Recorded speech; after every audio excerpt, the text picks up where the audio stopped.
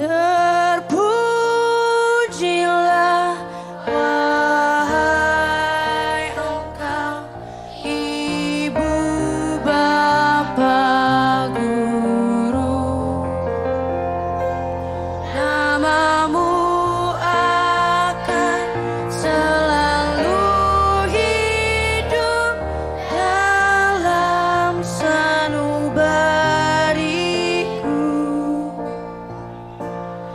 Semua baktimu akan kuukir di dalam hatiku